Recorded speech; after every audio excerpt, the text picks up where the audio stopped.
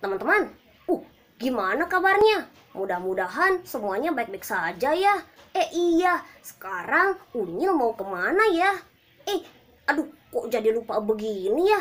Udah deh, kita pulang aja yuk teman-teman. Kemon.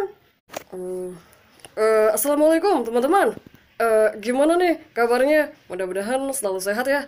Apa pun kondisinya, jangan lupa tetap semangat ya.